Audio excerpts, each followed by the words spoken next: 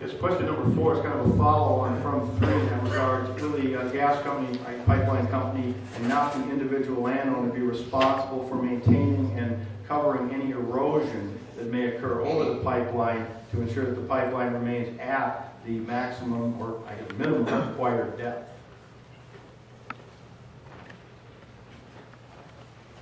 The company will maintain the right of way, you know, except obviously in agricultural areas where it's maintained by the farmer, basically, it's nothing to maintain, they're actually rotating crops.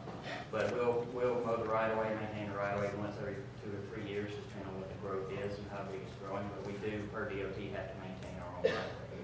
Um, should erosion occur, we are responsible for it, we will come and fix it if there's something related to construction or, or, or something of that nature that we need to come back and repair, we will come back and repair it. Uh, you know, it, and kind of touching back on the farming activities, we plan or design based on our discussions with the landowners. Uh, now, eh, one thing I want to mention about the farming practices, you know, I don't know how much land leveling y'all do around here, but if, if there was to need some land leveling or something like that, we would need to work with the landowner to make sure they do not remove, you know, get into our pipe or that kind of stuff. But, you know, all those issues will be addressed either in operations, or construction, or thereafter. So when you periodically uh, inspect the right away? Yes, sir, we, we- we have an aerial patrol, it'll be once a week.